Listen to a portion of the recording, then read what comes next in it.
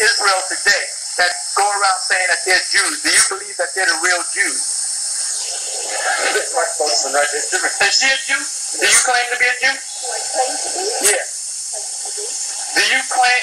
Okay, you you are a Jew based on what? Based on what? But based on but based on what document? Based on what document? Based on the Torah? The Torah, you know about the Torah, right? You know, do you know about the book of Jeremiah? Jeremiah 14 and 2? It's the bullfrog. okay. Let's, let's cut and we'll talk to somebody. Can, can I introduce you, sir? Are you yeah? Are you here to are you out here to uh, celebrate Easter? Yeah. Are you a priest? Are you a priest? Well, you look you look like a priest. You got the all black one, but you say that you're here to celebrate Easter, right? Now, what does really what does Easter represent to you?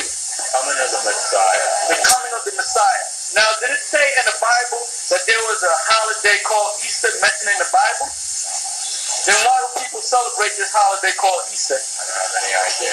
But why do you celebrate it? It's joyful. It's joyful. So you go along with what the world says. Well, let me ask you another question. Do you believe that Jesus Christ is coming to save the whole world, the humanity as a whole? Well, I myself don't believe in Jesus. I believe in, in the coming of the Lord. So you, so do you believe that you're going to be saved by Him?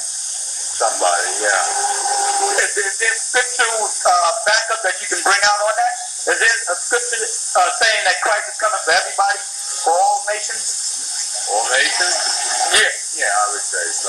Yeah. Can you show me that scripture? No? Because the scripture, because the scripture, can you can you quote the scripture? Okay, now we have a scripture here. It tells you plainly in the scriptures in Matthew, the uh, 10th chapter, the 5th and the 6th verse, that Jesus Christ only came for the Israelites. See? So I want you to read that scripture. Because you so-called white people, you're not going to be saved. Do you know that you Europeans are already in your salvation? The Roman Catholic institution is a church full of lies. Yeah.